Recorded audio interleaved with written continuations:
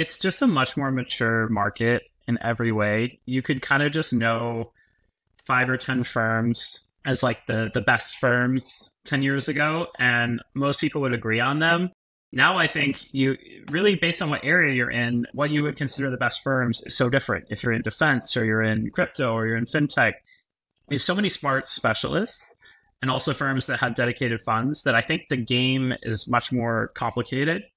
And I think having your expertise or like being considered the best in a certain area just means something really different now. It's not like you can just go to Sequoia benchmark, Accel, index, whatever, and be like, okay, I'm done. Like those are the best firms. And I think that's also driving people to try to be leaders in different ways. We didn't have VC podcasts like this 10 years ago.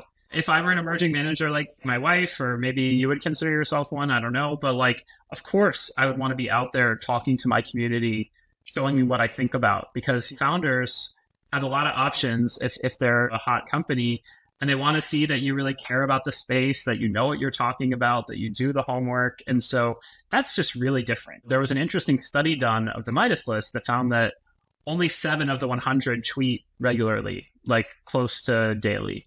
That's maybe partly because Twitter isn't what it used to be, slash, sorry, it's X now. But I think it's also that when those people became top investors, being a public brand on social media was not really as important.